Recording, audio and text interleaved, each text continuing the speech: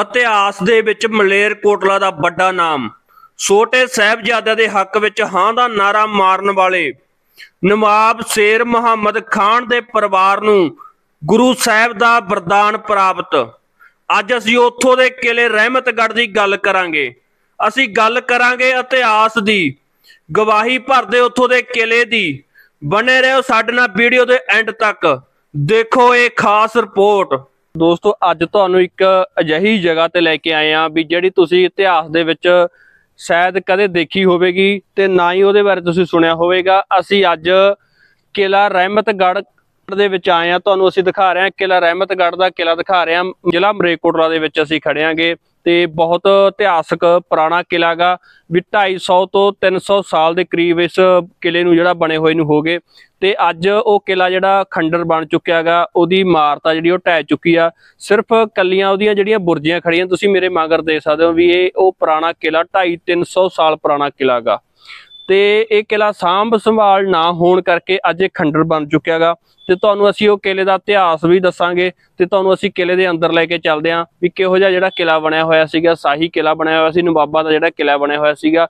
ਕਿਸੇ ਸਮੇਂ ਇਸ ਕਿਲੇ ਦੇ ਵਿੱਚ ਪੂਰੀ ਚਹਿਲ ਪਹਿਲ ਹੁੰਦੀ ਸੀ ਤੇ ਅੱਜ ਉਹ ਕਿਲਾ ਜਿਹੜਾ ਖੰਡਰ ਬਣ ਚੁੱਕਿਆਗਾ। ਤੇ ਬਣੇ ਰਹੋ ਸਾਡੇ ਨਾਲ ਵੀਡੀਓ ਦੇ ਐਂਡ ਤੱਕ ਤੇ ਆਪਾਂ ਦੋਸਤੋ ਚੱਲਦੇ ਆਂ ਅੱਜ ਕਿਲੇ ਦੇ ਅੰਦਰ।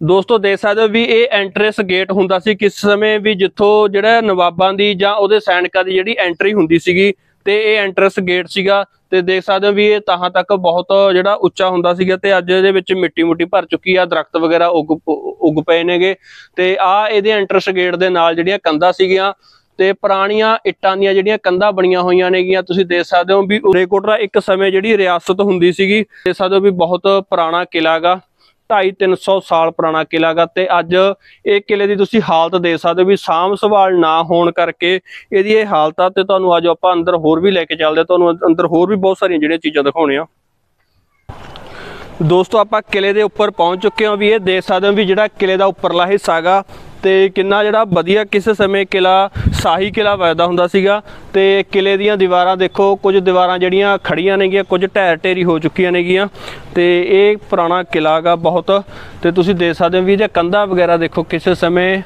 ਇਹ ਸਾਹੀ ਕਿਲਾ ਵਜਦਾ ਹੁੰਦਾ ਸੀਗਾ। ਤੇ ਸਕਦੇ ਹਾਂ ਵੀ ਪੁਰਾਣੀਆਂ ਇੱਟਾਂ ਦੀਆਂ ਕੰਧਾਂ ਨੇਗੀਆਂ, ਕੁਝ ਕੰਧਾਂ ਖੜੀਆਂ ਨੇ, ਕੁਝ ਢਹਿ ਢਹਿ ਗਈਆਂ ਨੇਗੀਆਂ। ਤੇ ਇਹ ਐਂਟਰਸ ਜਿਹੜਾ ਗੇਟ ਸੀਗਾ ਜਿੱਥੋਂ ਦੀ ਆਪਾਂ ਦਿਖਾਇਆ ਤੁਹਾਨੂੰ ਪਹਿਲਾਂ ਵੀਡੀਓ ਦੇ ਵਿੱਚ, ਤੇ ਉਸ ਤੋਂ ਜਿਹੜਾ ਸੈਨਿਕ ਜਾਂ ਨਵਾਬ ਸੀ ਜਿਹੜੇ ਉਹ ਅੱਗੇ ਅੰਦਰ ਕਿਲੇ ਦੇ ਵਿੱਚ ਐਂਟਰ ਹੁੰਦੇ ਸੀਗੇ। ਤੇ ਇਹ ਆਲੇ ਦਾਲੇ ਜਿਹੜਾ ਉੱਪਰ ਰਹਿਸ ਬਣੀ ਹੋਈ ਸੀ, ਤੁਸੀਂ ਦੇਖ ਸਕਦੇ ਹੋਗੇ। ਤੇ ਤੁਹਾਨੂੰ ਹੁਣ ਅਸੀਂ ਕਿਲੇ ਦਾ ਜਿਹੜਾ ਇਤਿਹਾਸ ਆ, ਉਹਦੇ ਇਤਿਹਾਸ ਬਾਰੇ ਵੀ ਜਿਹੜਾ ਦੱਸ ਦਈਏ ਤੁਹਾਨੂੰ ਅਸੀਂ ਥੋੜਾ ਦੋਸਤੋ, ਅੱਜ ਤੁਹਾਨੂੰ ਕਿਲਾ ਰਹਿਮਤਗੜ੍ਹ ਦੇ ਇਤਿਹਾਸ ਬਾਰੇ ਦੱਸਦੇ ਹਾਂ।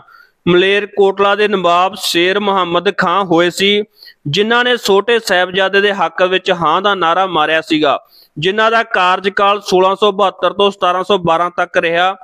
ਉਹਨਾਂ ਦੇ ਵੰਸ਼ ਚੋਂ ਯਾਨੀ ਕਿ ਉਹਨਾਂ ਦੇ ਪੋਤਾ ਉ- ਅਤੇ ਉੱਲਾ ਖਾਨ ਨਵਾਬ ਹੋਏ ਸੀ, ਜਿਨ੍ਹਾਂ ਦਾ ਕਾਰਜਕਾਲ 1791 ਤੋਂ 1810 ਰਿਹਾ। ਉਹਨਾਂ ਨੇ ਇਸ ਕਿਲੇ ਦਾ ਨਿਰਮਾਣ ਕਰਵਾਇਆ ਸੀਗਾ। ਉਹਨਾਂ ਦੇ ਵੱਡੇ ਬੇਟੇ ਦਾ ਨਾਮ ਰਹਿਮਤ ਅਲੀ ਖਾਨ ਸੀ, ਜਿਨ੍ਹਾਂ ਦੇ ਨਾਮ ਤੇ ਇਸ ਕਿਲੇ ਦਾ ਨਾਮ ਰੱਖਿਆ ਗਿਆ ਸੀਗਾ। ਇਸ ਪਿੰਡ ਦਾ ਨਾਮ ਵੀ ਅੱਜ ਦੇ ਸਮੇਂ 'ਚ ਕਿਲਾ ਰਹਿਮਤਗੜ੍ਹ ਦੇ ਨਾਮ ਨਾਲ ਜਾਣਿਆ ਜਾਂਦਾ। 19 ਸਾਲ ਉਹਨਾਂ ਨੇ ਰਾਜ ਕੀਤਾ। ਇਸ ਦੌਰਾਨ 1796 'ਚ ਇਹ ਕਿਲਾ ਬਣਵਾਇਆ ਗਿਆ ਸੀਗਾ। ਇਸ ਕਿਲੇ ਦੇ ਅੰਦਰ ਨਵਾਬ ਸਾਹਿਬ ਦਾ ਦਰਬਾਰ ਤੇ ਸ਼ਾਹੀ ਮਹਿਲ ਬਣਵਾਇਆ ਗਿਆ ਸੀਗਾ। ਅੱਜ ਤੁਸੀਂ ਦੇਖ ਸਕਦੇ ਹੋ ਵੀ ਇਸ ਕਿਲੇ ਦੇ ਹਾਲਾਤ ਕੀ ਨੇ। ਸਾਂਭ ਸੰਭਾਲ ਨਾ ਹੋਣ ਕਰਕੇ ਇਹ ਕਿਲਾ ਅੱਜ ਢਹਿ ਢੇਰੀ ਹੋ ਚੁੱਕਿਆਗਾ ਇਹਦੀਆਂ ਬੁਰਜੀਆਂ ਸਿਰਫ ਬਾਕੀ ਨੇ। ਬਹੁਤ ਮਜ਼ਬੂਤ ਕਿਲਾ ਜਿਹੜਾ ਕਿਸੇ ਸਮੇਂ ਹੁੰਦਾ ਸੀਗਾ। ਦੋਸਤੋ, ਇਹ ਕਿਲਾ ਬਣਾਉਣ ਦੀ ਲੋੜ ਕਿਉਂ ਪਈ ਸੀ? ਕਿਉਂਕਿ ਉਸ ਸਮੇਂ ਮਰੇਕੋਟਲਾ ਇੱਕ ਰਿਆਸਤ ਸੀ ਤੇ ਨਾਭਾ ਨਾਭਾ ਤੇ ਪਟਿਆਲਾ ਵੀ ਇੱਕ ਰਿਆਸਤ ਹੁੰਦੀ ਸੀ। ਮਰੇਕੋਟਲਾ ਦੀ ਨਾਭਾ ਰਿਆਸਤ ਤੇ ਪਟਿਆਲਾ ਰਿਆਸਤ ਨਾਲ ਜਿਹੜੀ ਉਹ ਲੜਾਈਆਂ ਝਗੜੇ ਹੁੰਦੇ ਰਹਿੰਦੇ ਸੀਗੇ। ਅਕਸਰ ਹੀ ਰਿਆਸਤਾਂ ਦੇ ਜਿਹੜੇ ਝਗੜੇ ਹੁੰਦੇ ਸੀਗੇ। ਤਾਂ ਕਰਕੇ ਜਿਹੜਾ ਇਹ ਮਰੇਕੋਟਲਾ ਰਿਆਸਤ ਨੇ ਜਿਹੜਾ ਇਹ ਕਿਲਾ ਬਣਾਇਆ ਸੀਗਾ ਤੇ ਇਧਰਲੀ ਸਾਈਡ ਜਿਹੜਾ ਪਟਿਆਲਾ ਤੇ ਨਾਭਾ ਰਿਆਸਤ ਰਹਿ ਗਈ ਆ। ਤੇ ਇਹ ਕਿਲਾ ਸ- ਇਹ ਕਿਲਾ ਜਿਹੜਾ ਰਹਿਸੀ ਕਿਲਾ ਨਹੀਂ ਸੀ, ਉਸ ਵਕਤ ਜਿਹੜਾ ਇਹ ਸੈਨਿਕਾਂ ਦੇ ਲਈ ਕਿਲਾ ਬਣਾਇਆ ਸੀਗਾ, ਤਾਂ ਜੋ ਉਸ ਸਮੇਂ ਦੀ ਜਿਹੜੇ ਸੈਨਿਕ ਸੀਗੇ, ਤਾਂ ਉਹ ਇਸ ਕਿਲੇ ਦੇ ਵਿੱਚ ਰਹਿ ਕੇ ਜਿਹੜੀ ਉਹ ਸੁਰੱਖਿਆ ਕਰਦੇ ਸੀਗੇ। ਨਵਾਬ ਦੇ ਜਿਹੜੇ ਸੈਨਿਕ ਸੀ, ਉਸ ਕਿਲੇ ਦੇ ਵਿੱਚ ਰਹਿੰਦੇ ਹੁੰਦੇ ਸੀਗੇ ਤੇ ਸੈਨਿਕਾਂ ਦੇ ਲਈ ਜਿਹੜਾ ਇਹ ਕਿਲਾ ਬਣਾਇਆ ਗਿਆ ਸੀਗਾ। ਜਦ ਕਿ ਇਹਨੂੰ ਬਾਅਦ ਵਿੱਚ ਰਹਿਸੀ ਕਿਲਾ ਵੀ ਬਣਾਇਆ ਗਿਆ ਤੇ ਬਾਅਦ ਵਿੱਚ ਇਹ ਪਿੰਡ ਬਸਾਤ, ਰਹਿਮਤਗੜ੍ਹ ਜਿਹੜਾ ਪਿੰਡ ਬਸਾਤਾ ਸੀਗਾ, ਦੋਸਤੋ ਦੇਖ ਸਕਦੇ ਹੋ ਵੀ ਇਹ ਪਹਿਲਾਂ ਸੈਨਿਕਾਂ ਦੇ ਲਈ ਕਿਲਾ ਬਣਾਇਆ ਗਿਆ ਸੀਗਾ। ਦੋਸਤੋ, ਜਿਹੜੀ ਤੁਸੀਂ ਇਹ ਬਿਲਡਿੰਗ ਦੇਖ ਰਹੇ ਹੋ, ਇਹ ਕਿਸੇ ਸਮੇਂ ਹਾਈ ਕੋਰਟ ਹੁੰਦੀ ਸੀ। ਨਵਾਬ ਰਹਿਮਤ ਅਲੀ ਖਾਨ ਨੇ ਆਪਣੇ ਰਾਜ ਦੌਰਾਨ ਹਾਈ ਕੋਰਟ ਬਣਵਾਈ ਸੀ ਤੇ ਇੱਥੇ ਹਾਈ ਕੋਰਟ ਦੇ ਜੱਜ ਬੈਠਦੇ ਸੀ ਤੇ ਇੱਥੇ ਹਾਈ ਕੋਰਟ ਦੇ ਹੀ ਫੈਸਲੇ ਹੁੰਦੇ ਸੀਗੇ। ਜਿਹੜਾ ਫੈਸਲਾ ਇੱਥੇ ਨਹੀਂ ਹੁੰਦਾ ਸੀ, ਉਹ ਨਵਾਬ ਸਾਹਿਬ ਕੋਲੇ ਜਾਂਦਾ ਸੀ ਕਿਉਂਕਿ ਨਵਾਬ ਸਾਹਿਬ ਖੁਦ ਸੁਪਰੀਮ ਸੀ। ਔਰ ਉਸ ਸਮੇਂ ਇਹ ਬਿਲਡਿੰਗ ਟੌਪ ਦੀ ਬਿਲਡਿੰਗ ਹੁੰਦੀ ਸੀਗੀ। ਇਹ ਪੌੜੀਆਂ ਨੇਗੀਆਂ ਥੱਲੇ ਉਤਰਨ ਵਾਸਤੇ ਕਿਲੇ ਤੋਂ ਇਹ ਪੌੜੀਆਂ ਬਣੀਆਂ ਹੋਈਆਂ ਸੀਗੀਆਂ ਤੇ ਤੁਸੀਂ ਦੇਖ ਸਕਦੇ ਹੋ ਵੀ ਇਹ ਪੌੜੀਆਂ ਥੱਲੇ ਨੂੰ ਜਾਂਦੀਆਂ ਨੇ ਕਿਲੇ ਦੇ ਨਿਚਲੇ ਪਾਸੇ ਜਾਂਦੀਆਂ ਨੇਗੀਆਂ ਬਾਹਰ ਨੂੰ ਜਿਹੜਾ ਰਸਤਾ ਜਾਂਦਾ ਸੀਗਾ।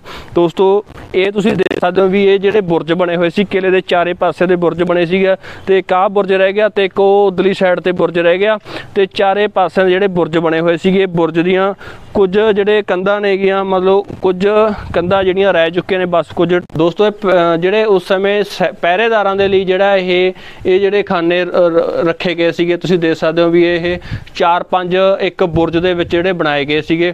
ਤਾਂ ਜੋ ਜਿਹੜਾ ਬਾਹਰੋਂ ਵੀ ਕੋਈ ਹਮਲਾ ਨਾ ਹੋਵੇ ਤੇ ਉਹ ਸੁਰੱਖਿਅਤ ਵਾਸਤੇ ਜਿਹੜੇ ਇਹ, ਜਿਹੜੇ ਚਾਰ ਪੰਜ ਖਾਨੇ ਜਿਹੜੇ ਬਣਾਏ ਗਏ ਸੀ ਪਹਿਰਾ, ਪਹਿਰੇਦਾਰਾਂ ਦੇ ਲਈ। ਤੁਸੀਂ ਦੇਖ ਸਕਦੇ ਹੋਗੇ, ਕਾਫੀ ਖੁੱਲੇ ਸੀਗੇ ਤੇ ਇੱਥੋਂ ਜਿਹੜਾ ਸੁਰੱਖਿਆ ਕੀਤੀ ਜਾਂਦੀ ਸੀਗੀ ਇੱਕ ਕਿਲੇ ਦੀ, ਸੁਰੱਖਿਆ ਕੀਤੀ ਜਾਂਦੀ ਸੀ, ਲੋਕਾਂ ਦੀ ਸੁਰੱਖਿਆ ਕੀਤੀ ਜਾਂਦੀ ਸੀ ਦੇਖ ਸਕਦੇ ਹੋ।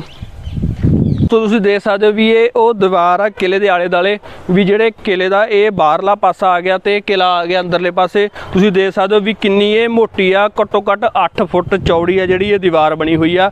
ਤੇ ਦੋਸਤੋ, ਪਹਿਲਾਂ ਕੰਧ ਕੰਧ ਹੁੰਦੀ ਆ, ਉਸ ਦੇ ਨਾਲ ਜਿਹੜੀ ਮਿੱਟੀ ਭਰੀ ਜਾਂਦੀ ਸੀ ਤੇ ਫੇਰ ਜਾ ਕੇ ਅੱਗੇ ਜਿਹੜੀ ਫੇਰ ਆ ਕੰਧ ਗਿੱਟ- ਕੰਧ ਬਣਾਈ ਜਾਂਦੀ ਸੀ। ਇਹ 8 ਫੁੱਟ ਚੌੜੀ ਤੁਸੀਂ ਦੇਖ ਸਕਦੇ ਹੋ ਵੀ ਇਹ ਦੀਵਾਰ ਬਣਾਈ ਗਈ ਹੈ ਇਹਦੇ ਵਿੱਚ ਮਿੱਟੀ ਭਰਨ ਦਾ ਕਾਰਨ ਕੀ ਸੀਗਾ ਵੀ ਬਾਹਰੋਂ ਕੋਈ ਤੋਪਾਂ ਵਗੈਰਾ ਦੇ ਨਾਲ ਜਿਹੜਾ ਉਹ ਕਿਲੇ ਦੇ ਉੱਪਰ ਹਮਲਾ ਨਾ ਨਾ ਹੋਵੇ, ਤਾਂ ਕਰਕੇ ਦੇ ਵਿੱਚ ਜਿਹੜੀ ਮਿੱਟੀ ਭਰੀ ਜਾਂਦੀ ਸੀ, ਕਿਉਂਕਿ ਦੋਸਤੋ ਤੁਸੀਂ ਆ ਦੇਖ ਸਕਦੇ ਹੋ ਵੀ ਜਿਹੜਾ ਇਹ ਉਸ ਸਮੇਂ ਬੇਗਮਾਂ ਦੇ ਰਹਿائش ਵਾਸਤੇ ਬਣੀ ਹੋਈ ਜਗ੍ਹਾ ਸੀਗੀ। ਤੇ ਮੰਨ ਲਓ ਆਪਾਂ ਵੀ ਜਿਨ੍ਹਾਂ ਨੂੰ ਆਪਾਂ ਕਹਿੰਦੇ ਆ ਵੀ ਆ ਉਸ ਸਮੇਂ ਦੀਆਂ ਜਿਹੜੀਆਂ ਔਰਤਾਂ ਹੁੰਦੀਆਂ ਸੀ, ਉਹਨਾਂ ਦੇ ਰਹਿਣ ਦੇ ਲਈ ਇਹ ਪ੍ਰਬੰਧ ਕੀਤਾ ਗਿਆ ਸੀਗਾ ਤੇ ਬਹੁਤ ਸੋਹਣਾ ਸੀਗਾ, ਇਹ ਕਮਰੇ ਬਕਾਇਦਾ ਬਣਾਏ ਗਏ ਹੋਏ ਸੀਗੇ।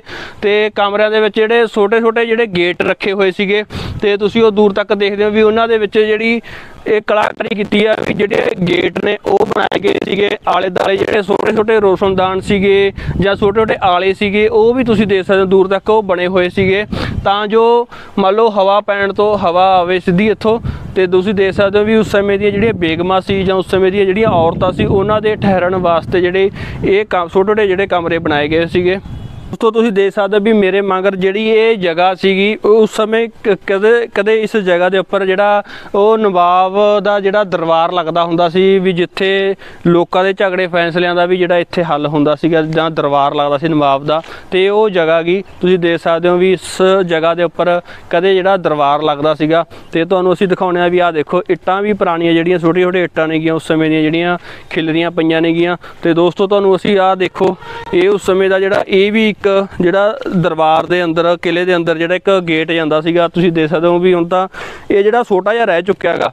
ਇਹ ਮਿੱਟੀ ਨਾਲ ਭਰ ਗਿਆ। ਕਿਸੇ ਸਮੇਂ ਇਹ ਕਾਫੀ ਜਿਹੜਾ ਉੱਚਾ ਹੁੰਦਾ ਹੋਊਗਾ ਤੇ ਦੇਖੋ ਵੀ ਜਿਹੜੀਆਂ ਨਿੱਕੀਆਂ ਨਿੱਕੀਆਂ ਇੱਟਾਂ ਦੀਆਂ ਜਿਹੜੀਆਂ ਕੰਧਾਂ ਨੇਗੀਆਂ, ਇਸ ਗੇਟ ਦੀਆਂ ਗੁਲਾਈ ਦੇ ਵਿੱਚ ਜਿਹੜਾ ਗੇਟ ਬਣਿਆ ਹੋਇਆ ਸੀਗਾ, ਵਿੱਚ ਆਲੇ ਵਗੈਰਾ ਜਿਹੜਾ ਗੇਟ ਦੇ ਵਿੱਚ ਜਿਹੜੇ ਰੱਖੇ ਹੋਏ ਸੀਗੇ, ਤੁਸੀਂ ਦੇਖ ਸਕਦੇ ਹੋ। ਤੇ ਅੱਜ ਇਹ ਨਾ ਸੰਭਲ ਸੰਭਾਲਣ ਕਰਕੇ ਜਿਹੜੀਆਂ ਕੰਧਾਂ ਵਗੈਰਾ ਨੇਗੀਆਂ, ਉਹ ਢਹਿ ਚੁੱਕੀਆਂ ਨੇਗੀਆਂ ਤੇ ਕਾਫੀ ਉੱਚੀ ਉੱਚੀ ਕੰਧਾਂ ਸੀਗੀਆਂ ਤੇ ਅੱਜ ਕਿਲੇ ਦੀ ਹਾਲਤ ਇਹ ਆ, ਤੁਸੀਂ ਦੇਖ ਸਕਦੇ ਹੋ।